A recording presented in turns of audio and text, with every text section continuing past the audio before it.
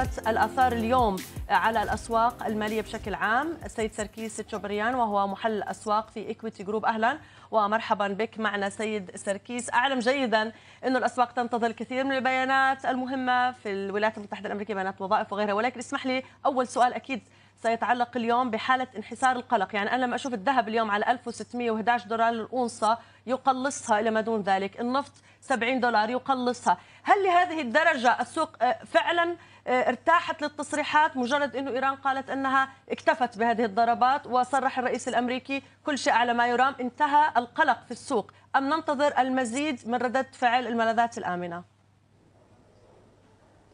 باعتقادي الأسواق المالية حاليا تفضل التوجه نحو أسواق العائد المرتفع. فكثيرا من الأحيان شهدنا موجات هابطة تبعها تقليص للخسائر أو حتى عودة للارتفاع. وهذا كله يدل أنه رغم وجود القلق في الأسواق المالية لكن في نفس الوقت هنالك شهية مرتفعة للمخاطرة ويتوجه المتداولون لأسواق العائد المرتفع.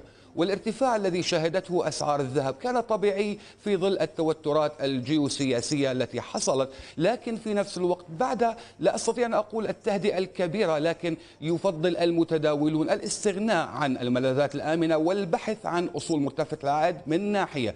ومن ناحية أخرى عمليات جني أرباح المضاربين تؤثر بشدة حتى على أسعار الذهب وأسواق الملاذ الآمن بشكل عام. وهذا ما سبب عودة الانخفاض السريع من مستويات فوق 1600 دولار للأونصة لسعر الذهب للمستويات الحالية التي يتداول فيها خصوصا مع انتظار المتداولين لتصريحات الرئيس الأمريكي لاحقا هذا اليوم. نعم. يعني فيما مر فعلا كان أسبوع عصيب كما ترى سركيس في يعني من بداية الأسبوع ونحن نرى هذه التداعيات. برأيك بالنسبة لردة فعل الأسواق على الملاذات الآمنة هل برأيك هناك سقف معين بدأت تضعه؟ وحتى فيما يتعلق بتصرفات التداولات على تحركات الذهب هل برأيك هو من الممكن أن تذهب إلى أعلى من ذلك إذا يعني هناك يعني كانت هناك احتمالات احتماليات لسيناريوهات أسوأ.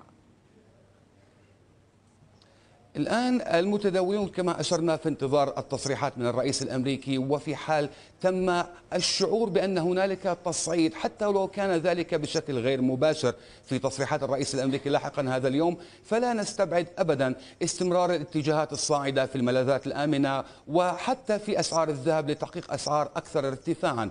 فرغم أن المتداولين في تفاؤل كبير لكن حتى التصريحات هذه سوف تسبب تنويع في المحافظ الاستثمارية بالتأكيد وهذا أيضا سوف يصب في مصلحة أسعار الذهب. نعم.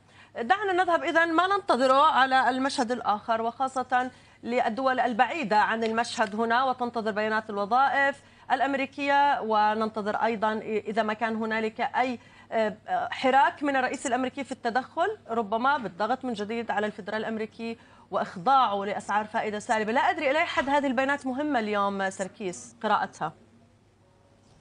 يوم الجمعة أعتقد البيانات. هذه البيانات. أم اليوم هي أعتقد. نعم.